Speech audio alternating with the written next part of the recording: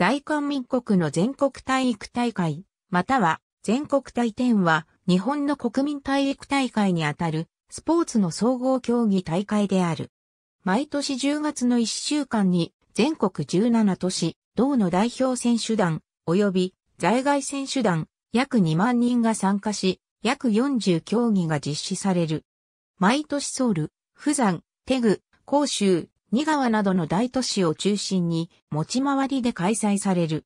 高校の部、大学の部、一般の部に分かれて実施される。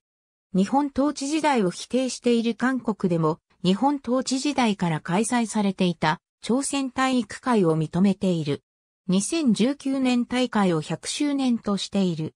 1920年、朝鮮体育会が発足し、その年の11月に第1回全朝鮮野球大会が開かれた。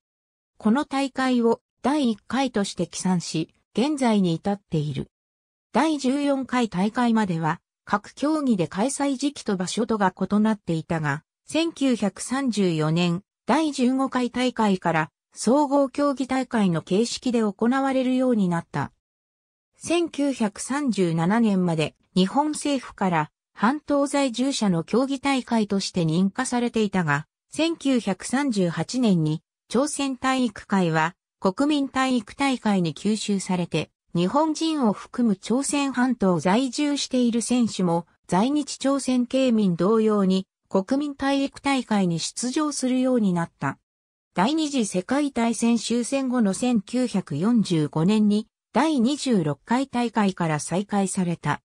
1948年に大韓民国が樹立され、この年から大会名称が全国体育大会となった。1950年の第31回大会は朝鮮戦争の影響で中止された。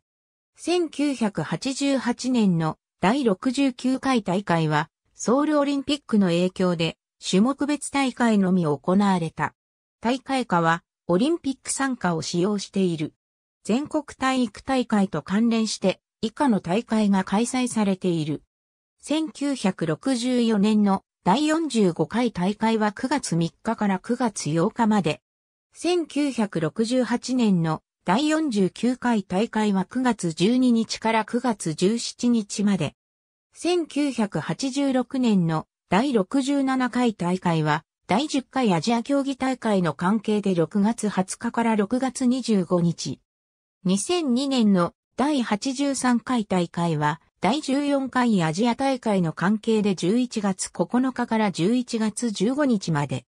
AB、生活者の日本統治時代、なぜ、良き関係のあったことを語らないのか P142、午前か、2000年、北朝鮮に、ソウルでの体育大会参加を提案韓国、担当省。2018年11月14日閲覧。コラム、自ら声を上げられない、韓国スポーツ界。2018年11月14日閲覧。ありがとうございます。